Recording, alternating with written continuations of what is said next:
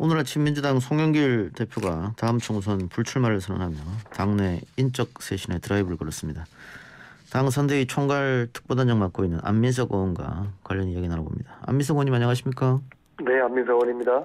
오늘 아침에 송 대표가 전격 기자회견을 열어서 총선 불출마를 선언했는데 뭐 알고 있었습니까? 아, 충격적이었고요. 예. 그 송영길 대표도 본인의 정치적인 꿈이 있고 목표가 있지 않겠습니까? 예. 일단 기득권을 내려놓은 거죠. 예. 당 대표가 총선 불출마를 했다는 것은 우리 정치사에서 하나 이제 충격적인 일이고요. 예. 이것으로 인해서 이후에 음, 정치 개혁에 물꼬가 트질 거라고 보고요. 예. 그런데 이제 송영길 대표의 이제 진심은 음, 이제 대선 승리를 위해서 우리 민주당이 정신을 차려야 되는데 여전히 민주당에 대해서 차가운 시선들이 있으니까 당 대표인 본인 스스로 먼저 솔선해서 음. 기대권을 내려야 되겠다라는 이제 각오의 에, 표현이라고 저는 보고 있습니다. 예. 대단한 일입니다. 예. 방금 말씀하셨다시피 그 당내 대표적 86세대가 이제 송영길 또 우상호 의원, 우상호는 이미 작년에 예, 총선 불출마를 선언했고요. 또 어제는 이 후보 최측근 7인회에 배구정군 선언이 있었습니다. 그 이렇게 되면은 또 다른 86그룹에서도 뭐 기득권을 내려놓는 그런 선언이 있을까요? 어떻게 보세요?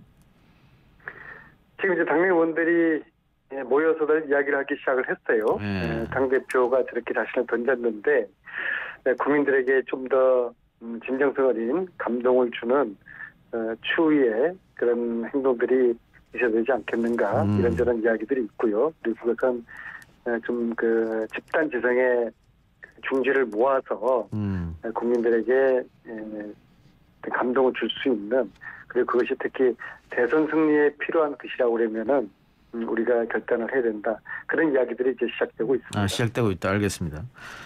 자, 그리고 송 대표가 본인이 다음 총선 불출마 선언하면서 종로 등 재보궐 지역 세 곳에 대해서 공천하지 않겠다.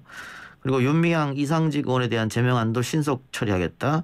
다음 총선에서는 2030 젊은 세대를 대거 공천하겠다.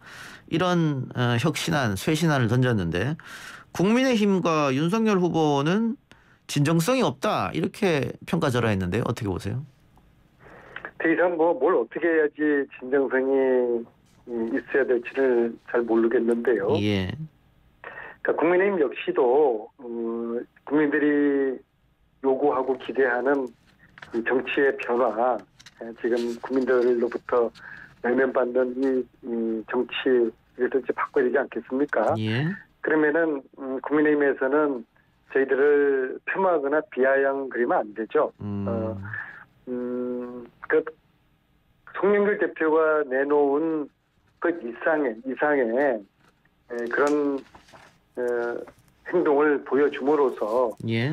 어, 본인들이 좀 더 국민들에게 마음을 얻겠다는 걸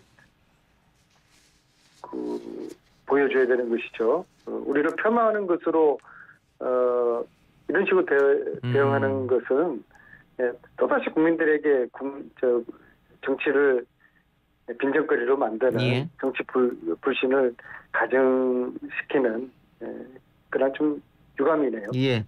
그 당에서 종로, 청주, 안성 이 세 재보궐 지역을 어, 공천하지 않겠다는 것은 어쨌든 민주당 소속 의원들의 잘못이나 사유로 인해서 재, 재보궐이 이루어지기 때문에 공천하지 않겠다 한 거 아니겠어요?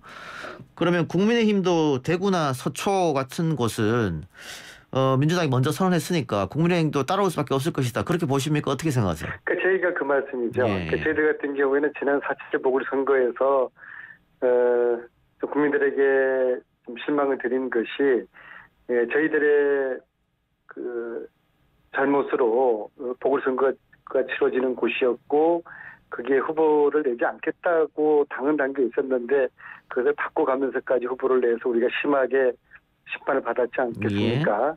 그래서 이제 우리가 이번에는 에, 제대로 해야 되겠다 싶어서 에, 어, 저희들 때문에 보궐선거 이루어지는 물론 종, 저 종로는 좀 차원은 틀리지만은 어쨌거나 예, 이낙연 어, 후보님께서 사퇴를 하셔서 다시 선거가 이루어지는 거니까는요. 에, 포함해서 청주, 안성 그 두 곳은 선거법 위반으로 어, 저희들의 규칙 사유가 있는 것이죠. 그랬다 그러면은 당연히 국민들 음. 상처로 봤을 때는 그러면은 국민의힘 너희들도 어, 거의 상응하는 정도의 어, 뭐 대안을 내봐라 행동을 해봐라 그런 요구와 기대가 있, 있지 않겠습니까? 음. 예, 저희들이 먼저 이제 선제를 했고 국민의힘도 고민을 할 거라고 보는데요. 그래도 다행인 것은 정치라는 것은 따라하거나 부러워하면은 이게 지는 거거든요. 예. 그래도 이제 이번만큼은 저희들이 먼저 선제적으로 저희들이 먼저 기득권도 내려놓고 또 어, 무공천 입장도 먼저 밝겠다는 점에서는 저는 이후에 국힘이 어떤 반응을 볼지 모르겠지만 일단 저희들이 솔선해서 예. 잘 했다고 저는 봅니다. 예. 자 어제 이재명 후보가 자신의 뭐 정치적 고향이라고 할 수 있죠. 성남시장을 방문해서 어, 민주당의 내로남불에 대해 사죄하고 형소욕술과 관련해서는 뭐 오열하는 모습까지 보였습니다. 그리고 오늘 송 대표가 긴급 기자회견까지 열었는데 그 대선의 판세가 조금 심상치 않다 민주당 자체적으로 분석했을 때 그렇게 보십니까? 지금 몇 주째 이재명 후보 지지율이 이제 박스권에 갇혀 있는 것에 대해서 어, 상당히 좀 답답함을 느끼죠. 예. 근데 선거를 치르다 보면은 뭐 여러 차례의 어, 굴곡이 있는데요. 예.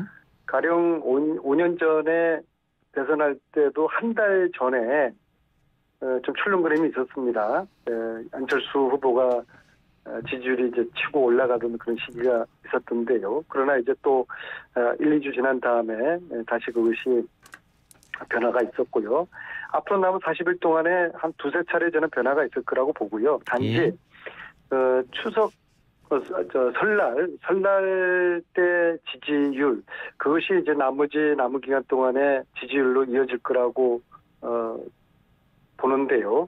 그래서 설날 민심이 굉장히 중요합니다. 그래서 설날 민심에 영향을 미칠 게 저는 TV 토론이라고 보는데요. 음. 이 TV 토론을 통해서 국민들이 제대로 된 두 후보의 정책과 비전을 비교하고 검증하지 않겠습니까? 예. 그리고 뭐 저는 국민들을 믿습니다. 국민들은 결국에는 어느 후보가 더 실력이 있는 후보인지, 누가 더 준비된 후보인지, 그리고 이 어려운 시대에 이 난간을 극복할 수 있는 아, 추진력과 결단력이 있는 후보가 누구인지 그것을 결국에는 국민들이 그 품질을 보고서 선택을 하게 될 거라고 봅니다. 예. 그리고 어떤 후보가 국민들 눈높이에 맞는 더 좋은 상품이고 품질일지는 국민들이 잘 알아서 예. 판단하실 거라고 저는 믿습니다. 예, 어쨌든 뭐 의원님 말씀도 현 시점에서는 조금 엄중한 상황이다. 뭐 반전의 기회가 언제든지 오긴 하겠지만, 근데 이 상황에서 뭐 김현미 전 국토부 장관이라든가 유은혜 교육부총리, 유은혜 교육부총리도 뭐 사표를 썼다는 그런 보도도 나왔었고, 뭐 이런 분들이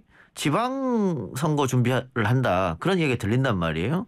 그렇게 되면 민주당의 쇄신이라든가 이런 거는 또 물거품이 될 수 있지 않느냐. 게다가 정권 심판, 정권 교체론이 아직도 여전히 높은 상황에서 그 문재인 정부에서 장관을 오래 했던 뭐 특히 김현미 전 장관 같은 경우에는 부동산 문제로 상당히 시끄러웠었는데 그 이런 분들이 출마한다는 건 문제가 있다는 지적이 있는데 이건 당 중진은 어떻게 생각하십니까?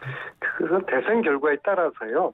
예, 대선 결과가 만에 하나 지게 되면은 문재인 정부에서 예, 장관이나 중책을 맡았던 예, 그런 분들의 공간이 굉장히 좁아지지 않겠습니까? 예. 예, 그래서 그분들 역시도 대선 결과 또 대선 남아 있는 기간 동안의 지지 추이에 대한 어, 고민을 굉장히 깊게 하지 않겠습니까? 예. 그래서 어, 그분들은 지금 상수가 어, 아니라 추이를 보면서 아마 그치를 결정하지 않을까 저는 뭐 그렇게 보고 있습니다. 음, 알겠습니다. 마지막으로요. 자, 국민의힘에서는 안철수 후보가 완주하는 삼자 필승론도 생각하고 있다 이런 얘기도 들리던데. 그러니까 중도표를 안 후보가 붙잡고 있는 게 윤 후보에게 불리하지 않다 이런 판단인 것 같아요. 오히려 단일화를 하면 어, 안철수 후보를 지지하는 표가 윤석열을 그대로 오지 않는다. 이재명한테 갈 수도 있다. 뭐 이런 거거든요. 아, 그 말씀은 일리가 있는 말씀인데요. 예. 아, 저는 이 단일화를 이 상수로 놓고 보는 것이 슬기로운 예, 대선이라고 저는 저희들 입장에서 봅니다. 민주당 왜냐하면은 입장에서는 그렇겠죠. 네, 아무래도. 네. 예. 저는 뭐 정치나 인생이나 똑같다고 봐요. 최악의 경우를 대비 하는 것이 화를 면한다고 보거든요. 그래서 저희들이 볼 때는 어, 지난 4.7 보궐선거 구도가 저희들로서는 안 좋은 구도거든요. 그리고 이제 그 안 좋은 구도가 만들어질 수 있다는 걸 상정을 하고 그러면은 그 구도를 어떻게 해서 대비하는 전략을 짤 것인가 그것이 더 현명한 자세라고 보고요. 국민의힘에서 이런저런 뭐 정치적인 판단과 계산을 하겠으나 그것은 이제 저쪽의 전략이고 우리의 전략은 어, 우선적으로 어, 단일화를 대비하는 전략. 그러다가 단일화가 안 되면은 어, 결국에는 17년 대선 구도가 되지 않겠습니까? 그것은 저희들에게 어, 나쁠 건 없는 구도라고 봅니다. 음, 알겠습니다. 의원님 오늘 말씀 고맙습니다. 네, 수고하십시오. 예. 지금까지 더불어민주당 안민석 의원이었습니다.